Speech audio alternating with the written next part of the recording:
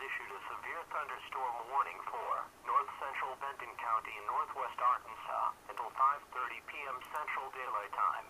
At 5.05 p.m. Central Daylight Time, a severe thunderstorm was located near Bella Vista and moving northeast at 50 miles per hour. Expected hazards include 60 miles per hour wind gusts and half dollar size hail. This is a radar indicated threat. The following impacts are expected. Hail damage to vehicles is expected. Expect wind damage to roofs, siding and trees. Locations in or near the path include Pea Ridge. For your protection, move